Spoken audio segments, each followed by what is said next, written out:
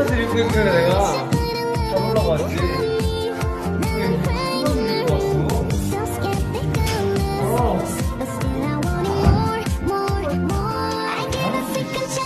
근